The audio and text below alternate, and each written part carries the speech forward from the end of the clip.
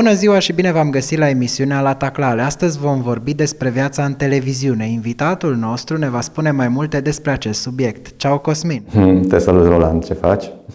Uite, bine și am deschis acest studio din Freidorf. Mă bucur că m-ai invitat uh, aici și mă bucur să văd că, uite, de când te cunosc tot timpul progresezi și că tot mai faci câte ceva în domeniul ăsta. Și eu mă bucur. Hai să începem cu interviul. Pentru început, cum decurge o zi în televiziune? O zi în televiziune, cum decurge? E, depinde de zona de televiziune în care lucrezi. Dacă lucrezi în zona știrilor, o zi în televiziune, înainte de pandemie, decurgea cu multă lume în zona telejurnalului a știrilor, cu ședințe de redacție, cu oameni care plecau grăbiți uh, pe teren, cu oameni care căutau subiecte, se documentau fie pe internet, dădeau telefoane, uh, se schimbau idei. Uh, acum lucrurile s-au mutat mult în online și agitația asta, apropierea dintre oameni e mult mai, mai puțin prezentă într-o zi de televiziune, dar pe de altă parte de comunicat, de schimbat idei prin mediul online se întâmplă, sunt un fel de ședințe în care lumea discută despre subiecte, se propun subiecte, la filmări totuși se mai pleacă la filmări. O parte din interviuri, într-adevăr, se realizează și ele de asemenea online, nu așa cum facem noi acum în studio, dar sper eu, într-un timp nu foarte lung, lucrurile să, să revină la măcar parțial la ceea ce aveam înainte de pandemie. Așa începe ziua și cumva continuă așa până seara când e telejurnalul, ca să-mi termin ideea, până când uh, se difuzează tot ce s-a produs în ziua respectivă, inclusiv ce trimit corespondenții noștri din, vorbesc acum de TVR Timișoara, corespondenții noștri din Caraș, Arad și Hunedoara. Și da, finalul zilei e atunci când a trecut jurnalul, 18.30 în cazul nostru, și așa se încheie ziua pentru echipa de la știri. Acum, televiziunea înseamnă și reportaje, înseamnă și talk show-uri. Talk show-urile, în general, sunt după telejurnal de știri, înseamnă alt fel de abordare a zilei, înseamnă documentare, înseamnă multe telefoane de dat, vorbit cu oamenii, invitate persoanele pe care ți le dorești în, în show, în emisiune, tot așa, acum multe prin Skype sau alte modalități online. Mai de mult era așa cum suntem noi acum, adică invitam mm. în studio, documentez subiectele, depinde de cât de câte minute aloci fiecărui subiect. În fine, e o pregătire și cam așa. Mai ai varianta în care mergi să filmezi reportaje și asta înseamnă că tu te-ai documentat din timp, pleci de dimineață cu echipa la filmare, un cameraman în principal, uh, faci interviuri, filmezi, uh, iei o serie de imagini, încerci să surprinzi lucruri în imagine, te întorci, mai scrii, mai urmează zilele de montaj. Nu știu, sunt multe feluri în care decurge o zi în televiziune. Pandemia a schimbat așa puțin viețile noastre și mai ales și modul în care se iau interviurile acum la televiziune. Toată lumea apelează la aceste variante de video call, de telefoane cu video. Știu că lucrurile s-au schimbat, dar trebuie să ne adaptăm. Așa e, așa e, s-au schimbat. Uh, Uh, ne adaptăm pentru că ce să facem? Uh, publicul are nevoie de, de informație și uh, noi ne străduim să oferim o cât de bine și cât de corect se poate. Apelăm normal la aceste videocoluri, cum le-ai spus, pentru că e varianta cea mai bună, cea mai rapidă de a reuși totuși să aduci în fața telespectatorilor oameni care au uh, ceva de spus. Mulți oameni poate nu știu cum este organizată o televiziune. Poți să ne detaliezi puțin? Detaliile sunt foarte multe, dar în mare pot să-ți spun că există un corp redacțional care e format din reporteri, redactori, producători, cam în zona asta. Urmează o zonă artistică, tehnică, cred că fiecare televiziune îi spune altfel, uh, în care sunt uh, operatorii, cameramanii, editorii de imagine, regizorii, evident, uh, scenograf, în cazul în care folosim scenografie. Uh, da, ei sunt în zona artistică și urmează o zonă tehnică, nu înseamnă că e mai puțin artistică, dar așa îi spune, uh, în care intră sunetiștii, intră uh, oamenii din tehnică, de la lumini, oamenii care asigură de fapt o transmisie în direct sau înregistrată Uh, cam astea ar fi palierele pe care e organizată orice, orice televiziune. Ai avut emoții când ai apărut prima dată la TV? Da, am avut, am avut. Am avut foarte mari. Mai am și câteodată și acum, adică nu... Mm, emoțiile nu cred că dispar la modul în care sunt total... Cred că nici nu ar mai fi interesant dacă n-ar fi un pic de emoție. Uh, ele atâta timp cât le poți păstra în zona emoțiilor constructive, e foarte bine. Dar da, am avut emoții. Înaintea fiecarei apariții TV, tu faci un anumit exercițiu de dicție? Nu fac înaintea fiecarei apariții TV un exercițiu de dicție. Uh, fac exerciții de dicție periodic, uh, nu neapărat uh, ca și cum aș face un sport. Înaintea fiecarei apariții TV sau aproape înaintea fiecare apariții TV uh, fac un fel de gimnastică facială, adică îmi descleștez mai puternic uh, gura, fac câteva mici exerciții, dacă um, asta înseamnă exerciții de dicție, de fapt uh, o încălzire până la urmă și mandibula tot pe bază de mușchi funcționează și e nevoie, așa ca la orice sport, de un pic de încălzire înainte de, de a intra în direct. Foarte mulți oameni care lucrează în televiziune apelează la exercițiile acestea și chiar și la școlile de televiziune se predă și un curs pe treaba asta. Da, așa e, se predă dicție. Adică e foarte important să poți să îți exprimi ideile corect și cel mai important lucru, telespectatorul tău să-și înțeleagă ce spui. Adică nu să zică oare ce spune omul ăsta, nu, nu, înțeleg, nu înțeleg ce rostește. Așa, cred că e importantă dicția. E un instrument uh, prin care noi, jurnaliștii de televiziune și de radio, mai ales de radio, da, și cei de televiziune, transmitem informația. Eu, de exemplu, fac de multe ori exerciții de dicție, nu chiar tot timpul, dar pe mine mă ajută, știi? Da, ajută. Ajută pe oricine își dorește să intre în jobul ăsta, are nevoie de exerciții de dicție. Sunt foarte importante. Cum conduci o discuție în care interlocutorul este recalcitrant? Depinde de, de din ce motive e interlocutorul recalcitrant. Adică nu e niciodată la fel. Poate fi uh, supărat uh, pe, nu știu, pe alt invitat, poate fi uh, deranjat de, ce să spun, de ceva anume, de o situație, uh, vrea neapărat să se facă auzit.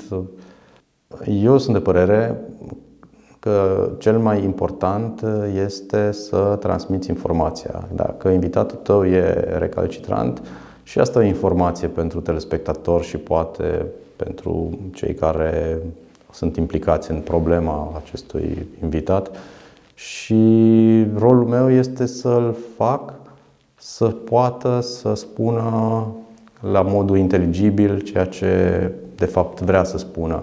Dacă devine agresiv verbal vorbind, desigur eu cel puțin încerc uh, să-l calmez. Nu cred în audiențele pe care le provoacă circul și scandalul din platou. Nu, nu sunt un fan al genului ăsta de talk show-uri.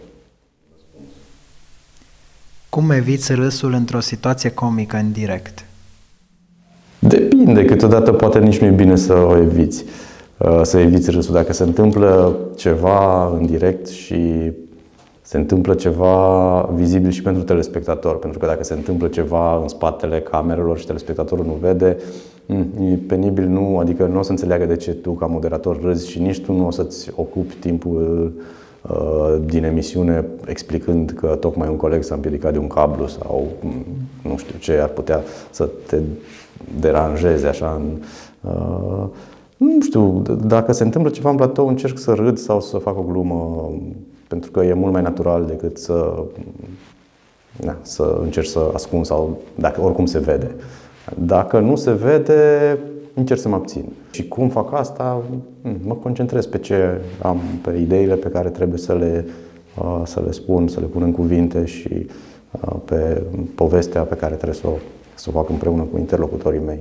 Deci să înțeleg că încerc să destinzi atmosfera în situațiile acestea. Da, da, depinde. Adică dacă e o emisiune foarte serioasă și se întâmplă ceva, adică să nu mai putem fi concentrați, da, încerc să destind atmosfera dacă se poate lucrul ăsta și în general încerc să fac lucrurile să pară naturale.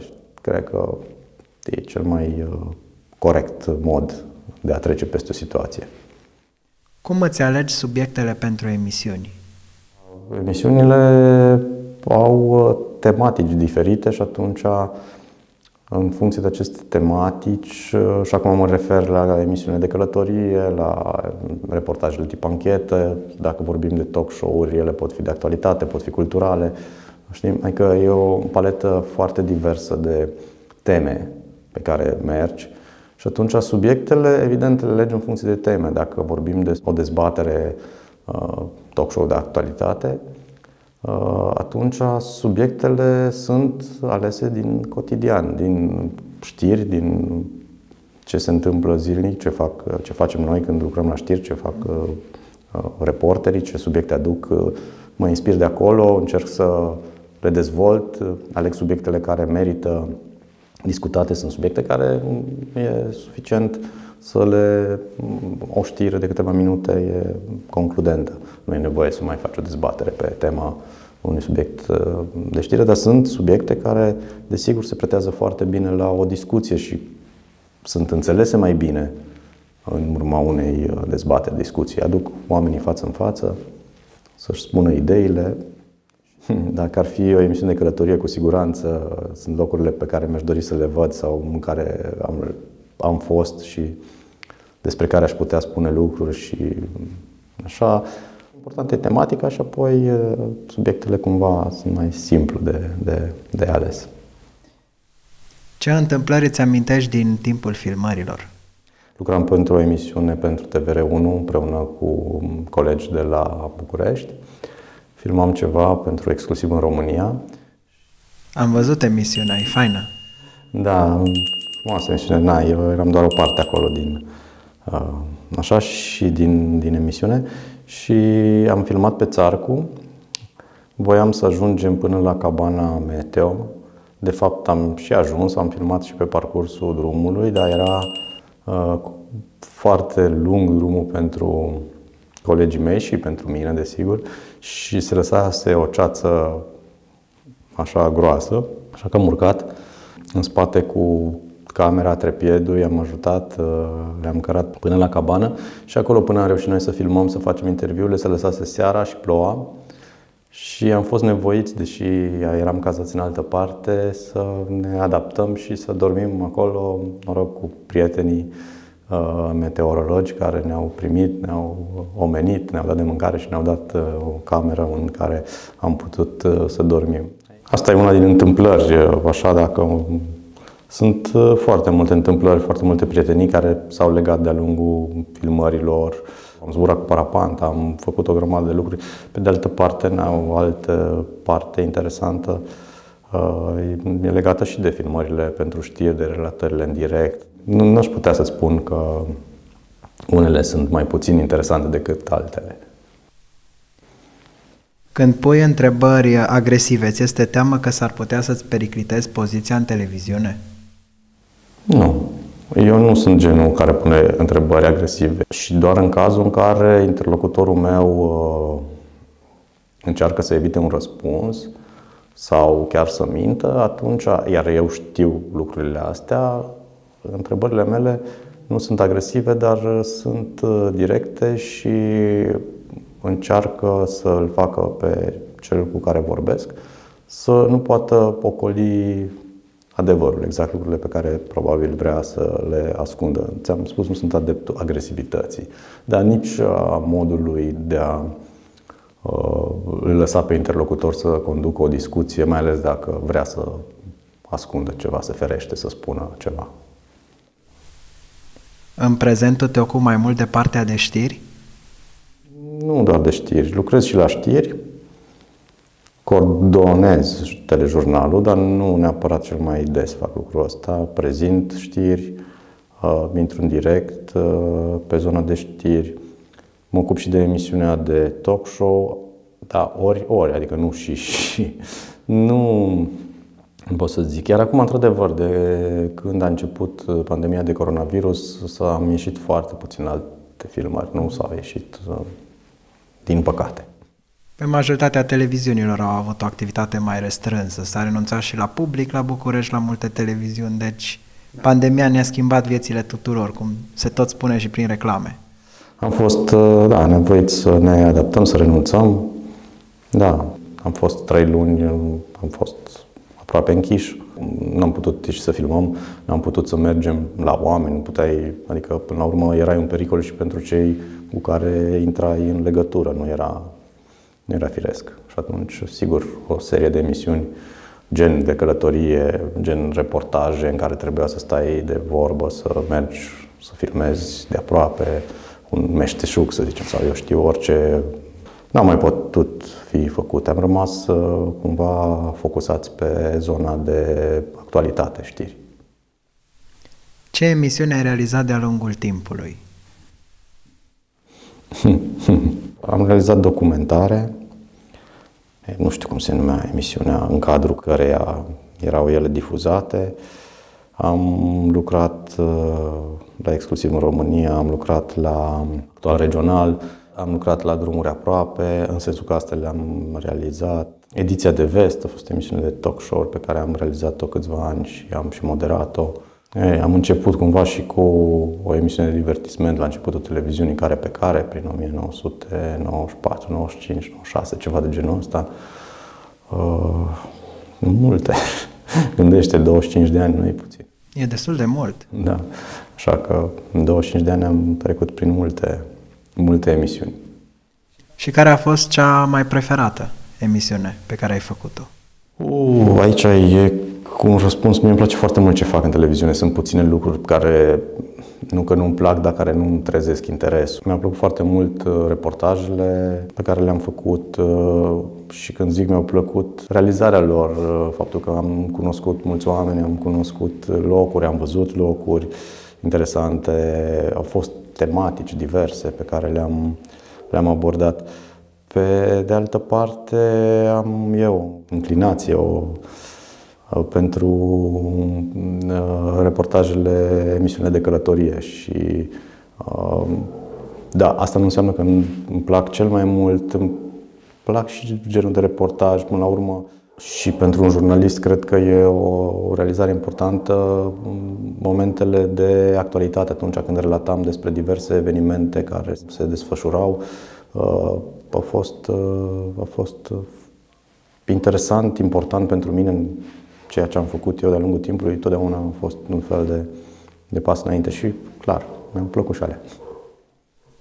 Că tot ziceai de emisiuni de călătorie și mie îmi plac genul astea de emisiuni și chiar e interesant să vezi locuri noi, cunoști oameni noi și cu ocazia asta afli și tu noi informații. Absolut, absolut. Ce părere ai despre vedetele care cer bani pentru o apariție televizată?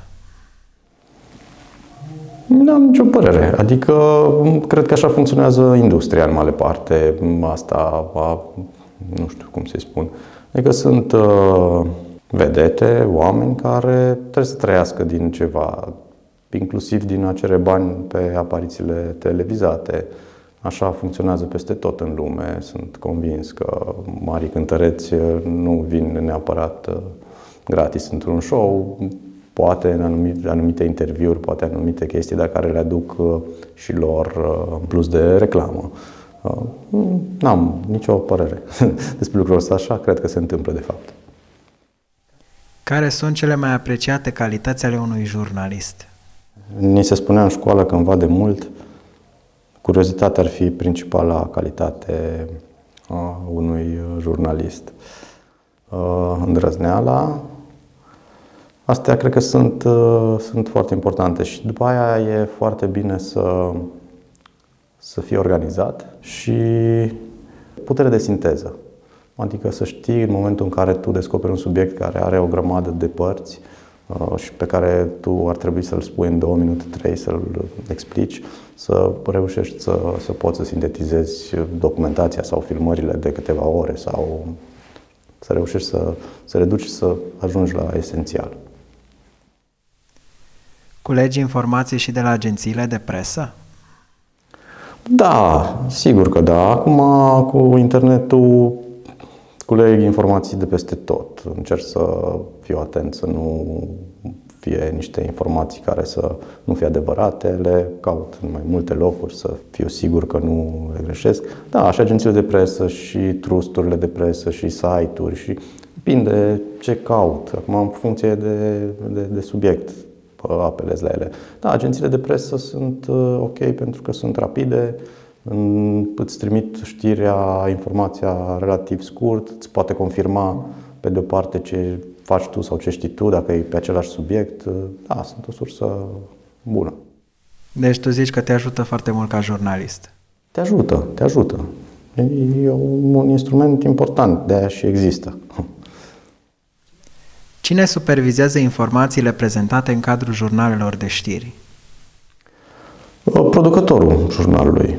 Producătorul jurnalului e cel care supervizează informațiile, texte, nu numai texte, imagini, interviuri. Da, el răspunde de, la TVR Timișoara. Altfel, mai există redactori în organizațiile mai mari. În redacțiile mai mari de știri există oameni care se ocupă editori de text, redactori care vizionează, verifică să fie totul în regulă, dacă se pare ceva nu nu mai stă de vorbă cu reporterul, mai întreabă, încearcă să îl facă să-și clarifice ideea. Hm, cam așa. Da, ultimul e producătorul telejurnalului, e cel care are ultimul cuvânt. Își da acceptă cum ar fi. Da, da. Ce părere ai despre persoanele care acceptă să fie filmate doar din anumite unghiuri? Ai întâlnit astfel de oameni? Da, am întâlnit, nu foarte des. Am întâlnit uh, oameni care aveau uh, o problemă fizică mai mult sau mai puțin trecătoare, adică un coș a apărut pe obrazul drept și uh, chestii de, chestiuni de genul ăsta sau unii care consideră sau li se spusese sau aveau experiența apărutului pe ecran și știau că din profil stânga arată mai bine sau... În fine, da, am întâlnit. Pe de o parte, n-am nimic împotriva dacă oamenii respectivi își doresc să apară într-un anume fel, adică din, nu, nu cred că e o problemă sau că schimbă cu ceva ceea ce transmit sau transmitem împreună. Înaintea unei apariții TV, după ce criterii ți alegi ținuta?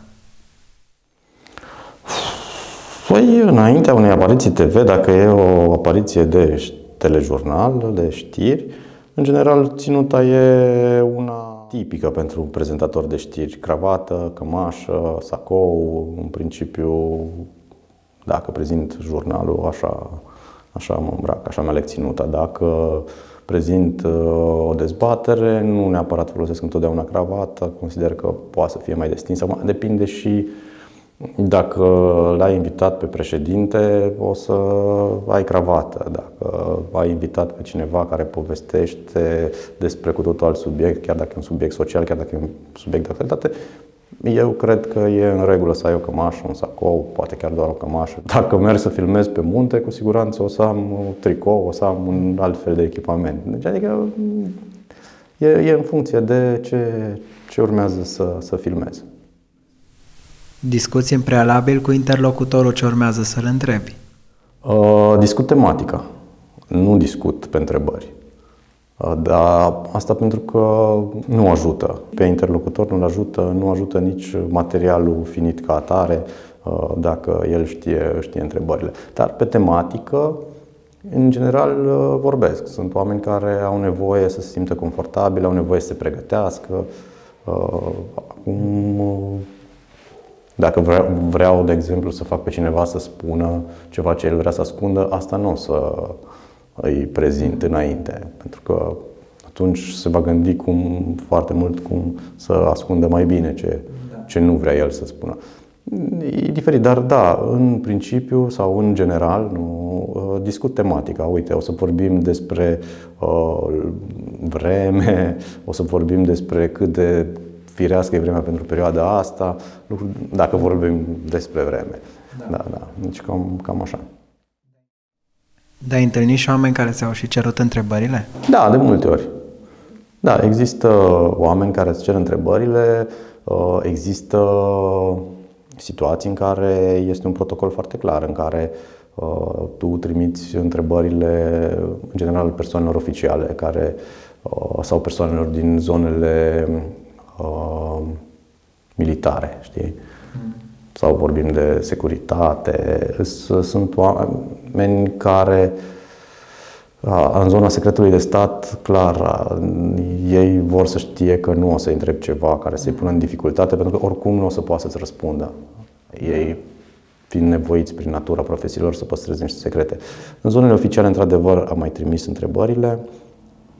Adică dacă, ți-am zis, dacă faci interviu cu prim-ministru, dacă faci interviu cu președintele, dacă faci așa, depinde. Dar s-au mai cerut. Acum eu le explic, nu ajută la nimic să înveți o poezie dacă vorbim de dezbatere și de, în cadrul unui talk show. E mult mai bine să, să răspundă la întrebări și pe temele pe care le stabilim împreună. Da, ți-am spus, diferă de la caz la caz. Ce satisfacții ți aduce meseria pe care o practici? Păi mi aduce foarte multe satisfacții. Dacă stai să te gândești că de 25 de ani fac chestia asta, uh, cred că am depășit 25 de ani deja, uh, mi-aduce foarte mari satisfacții. Adică e clar că pentru mine e parte, parte din viața mea. Și probabil că dacă nu mi-ar aduce satisfacții, uh, aș fi renunțat de mult și nu vorbesc de satisfacțiile materiale, pentru că na, jurnaliștii nu neapărat câștigă grozav, dar e vorba despre bucuria aia de a face ce-ți place. În fiecare zi să ai ceva nou. E, pentru mine e important.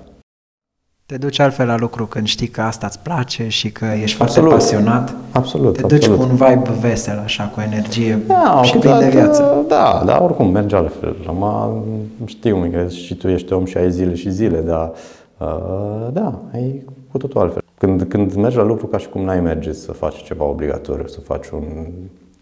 să fii obligat. Când mergi că te bucuri, abia aștept să ajungi să faci, nu știu, să vezi ce s-a întâmplat cu cineva, cu un subiect pe care îl urmărești, cu ce se, nu, cum ai putea să faci o filmare, ce se mai întâmplă, cum o să discuți, da, nu.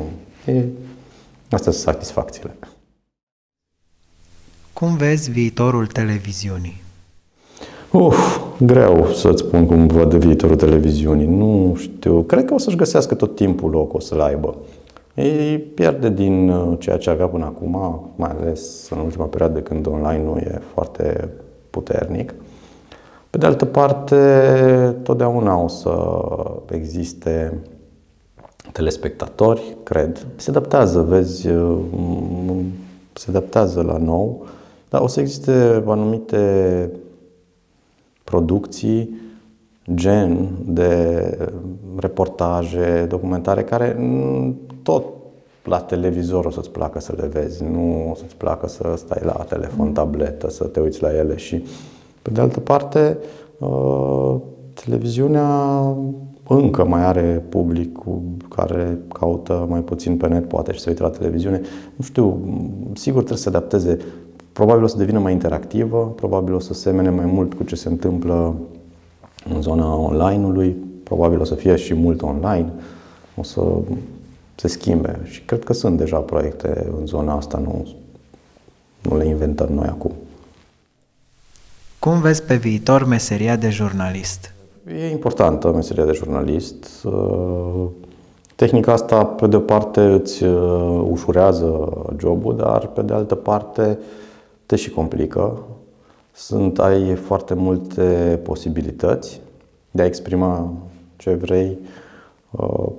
Uh, nu știu, cred că în continuare ar trebui să existe jurnaliști care critică fără jurnalismul ăsta de, de calitate și jurnalism adevărat, jurnalismul care atrage atenția asupra unor lucruri pe care, să zicem, autoritățile le fac sau anumite persoane aflate pe diverse poziții fac anumite abuzuri și tot presa și s-a văzut în toți anii ăștia că presa a fost cea care a atras atenția asupra subiectelor de acest tip și atunci cred că în continuare genul ăsta de presă trebuie să existe. Altfel se pot uh, crea derapaje și uh, o parte din, uh, sau oamenii care au anumite interese, să se lasă ghidați doar de propriile lor interese și, și restul oamenilor să nu observe.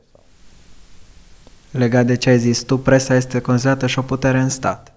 Da, a patra putere în stat, mai mult sau mai puțin. Și asta pentru că atrage atenția celorlalte puteri despre anumite subiecte sau chestiuni pe care acestea nu le observă neapărat. Pentru că dacă cineva nu reclamă o hoție, nu înseamnă că ea, hoția, nu există, de exemplu. Iar presa are exact unul din rolurile astea, să atragă atenția că se întâmplă anumite lucruri, anumite personalități, anumite persoane, anumite instituții abuzează sau nu-și fac treaba. Sau... E, asta e rolul, de fapt, al presei. Presa clasică. Cum ziceau unii, câinele de pază al democrației. Da, așa, așa spuneau. Și cred că mai e, da. Cred, cred că mai e. Atâta timp cât nu e aservită, adică cât nu lucrează în interesul anumitor uh, organizații, persoane, are importanță instituții, atâta timp, da, rămâne un câine de pază. Și e important să rămână așa. Cosmin, îți mulțumesc pentru prezența în această seară și îți doresc mult succes pe mai departe.